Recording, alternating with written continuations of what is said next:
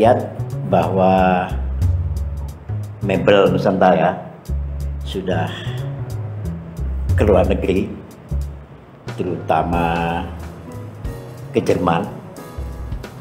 Dalam COVID-19 ini ada pengaruh nggak Pak? Mungkin saya bisa Bapak jelaskan.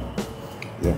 itu kami suatu pengusaha yang mungkin beruntung ya kalau bisa pakai kata itu ya dengan pandemi eh, COVID ya. Eh, kenapa? Eh, kita terima banyak order-order sekarang ya. Itu mulai kira-kira ya di, di April mungkin sudah ditanya, ditanya terus ya. Itu karena orang Jerman, budaya orang Jerman Hmm. dengan beach chair maksudnya apa, kursi pantai istimewa budaya Jerman itu semua orang banyak orang ya semua mau ke pantai di Jerman utara biasanya semua utara di sana ada kursi pantai itu istimewa atau kalian foto ya Eh, dan ini sudah budaya mereka mau ke sana mau ke pantai nikmati masuk kursi pri- pribadi tapi dengan COVID dan lockdown dan aturan apa-apa pun apa-apa dengan eh, pandemi COVID itu nggak boleh luar Hmm. juga lockdown. Nah orang Jerman keras kepala Hmm. masih mau duduk di kursi itu. Nah gimana bisa itu? Ya itu pesan aja di rumah. Hmm. Orang Jerman biasanya di belakang ada taman, taman sendiri ya. Biasanya tanah sebesar rumah, ada taman lagi, ada pohon-pohon, bunga-bunga terserah. Dan mereka masuk kursi itu, mereka beli sendiri. Meskipun mahal untuk pribadi, Iya. beli dan masuk di sana. Cuman di mana sama istri sendiri Iya. mau duduk di kursi pantai itu. Saya tadi ngontrol melihat itu semangatnya karyawan saya bilang oh ini nggak ada yang kena PHK ini dalam hati saya. COVID-19 ini. Ya. saya tanya bisik-bisiknya itu ke mana nih saya bilang gak bego. Pak ini ke Jerman pak. Ini ke Eropa ini. Oh jadi sampai sekarang masih kirim ke ini ke luar negeri. Itu lebih daripada tahun kemarin. oh. Lebih, benar-benar lebih ya. Kita sudah booking sampai April ya. April. Dan saya baru bikin order baru lagi untuk 1200 pizza untuk bikin Wow. bikin April. Mereka mau. Nah untuk kita ini kesempatan karena kita juga menemukan satu supplier baru di sana ya yang jual furniture furniture juga. Nah. Ini ki- kita benar-benar beruntung dengan mebel itu. Hanya karena orangnya tidak bisa luar, ya Hmm. udah mereka beli mebel di rumah mereka aja untuk di rumah di ya rumah aja. Apakah ini ini mulai dengan beach chair, tapi bisa harap juga dengan mebel biasa, dengan ratan atau apa ya? kualitas kita udah terjamin ya di sana pak ya kualitas Pasti. Oh. Ini kursi kami benar-benar sama bilang di antara 4 sama 5 bintang. Jauh berbeda daripada Cina-Cina atau apa. Ada rencana di ke pasar Eropa yang lain, negara lain? Dengan, dengan beach chair itu susah. Karena ini saya bilang tadi, itu budaya Jerman. Hmm. Orang Spanyol, Prancis, Belgium, Belanda nggak mau. Inggris nggak mau. Ini budaya histori Jerman. Ratusan Oh. tahun yang lalu. Tapi dengan outdoor mebel. Nah itu rencana Kita- berbeda. Ini saya sudah mulai di Mallorca, Spanyol. Saya mau expand karena ini musim berbeda. Maksudnya juga ya. Biasanya kita jual di September. Mereka beli di September, jual di di Maret, April untuk musim panas di sana.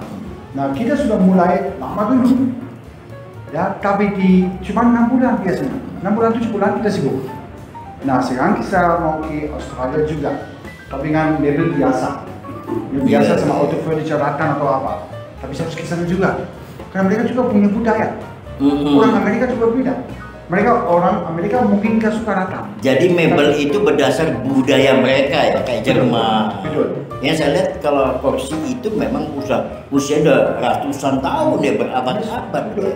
Direktur apa sih kiatnya sampai karyawan kita tuh nggak kena PHK? Saya lihat semangat tinggi tadi itu. Ya kan apa uh, kiatnya dan apa targetnya 2021 ini untuk mebel kita? Ya, eh, terima kasih Pak Komisaris atas pertanyaannya.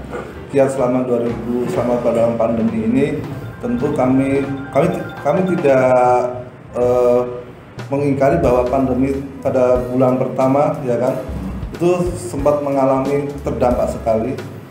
Kami waktu itu melakukan efisiensi besar besaran salah satunya eh, pengurangan pegawai tapi kami memaksimalkan eh, pegawai yang sudah ada dengan efisiensi dan dan itu hanya ber- itu hanya satu bulan kemudian Hanya ber- hanya berlaku satu, satu bulan, ya. kemudian pada saat lockdown ini terbuka, kami bertahap negosiasi dengan pihak buyer untuk bisa mengirimkan yang sudah menjadi uh, order yang sebelumnya terpending atau postpone. Dan welcome di sana, welcome. Dan alhamdulillah setelah mereka lockdownnya terbuka, Hmm.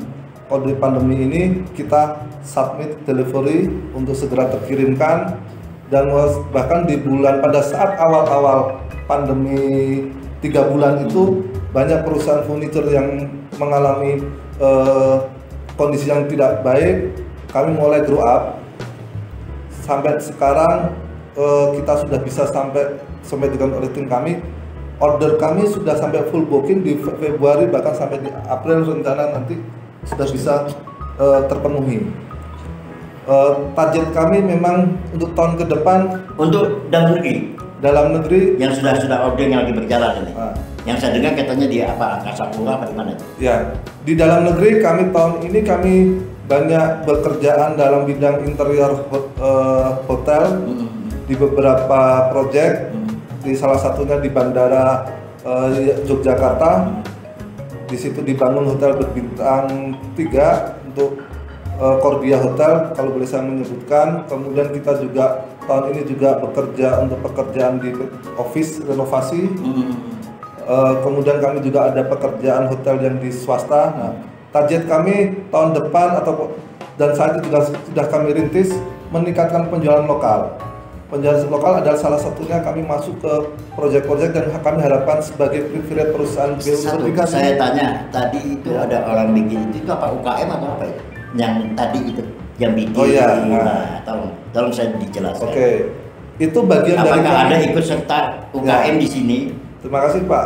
Itu bagian dari kerjasama kami dengan meningkatkan eh, UKM. Hmm. itu beberapa produk ataupun material yang tidak kita bisa bikin kami berdayakan dengan UKM-UKM di sekitar kami tapi dengan quality control dari kami. Baik dari bahan material yang eh, semua ada yang beberapa material yang kita sediakan untuk mereka buat dan pengawasan dan hasil kualitasnya berdasarkan eh, quality control kami jaminan mutu kami. Dan itu sebagai salah satu tugas kami untuk mengangkat UKM-UKM tersebut. Dan alhamdulillah sampai sekarang sudah berjalan eh, banyak kami beberapa didukung oleh super, eh, super supporting dari beberapa UKM baik dari material penyediaannya bahkan dari tenaga kerjanya juga itu banyak sekali didukung oleh UKM-UKM di sekitar lokasi pabrik kami seperti itu pak Oke, luar biasa ya. Ya. Jadi kita berharap mebel Nusantara bisa eksis dari akhir 2020 ke start. Ya, target kita setahun dua tahun sudah biar sudah booming. Pak. Ini target kita. Ini kita harus kerja keras. Ya, terima kasih ini Pak, kita dibantu. Kalau bisa tolong dibantu marketing marketingnya lagi tingkat dunia agar mebel kita bisa ke mancanegara, bisa mengikut sertakan UKM dan koperasi ya melalui PT Berdikari ini, melalui mebel Nusantara ini. Kenapa? Karena bahannya kita banyak. Satu.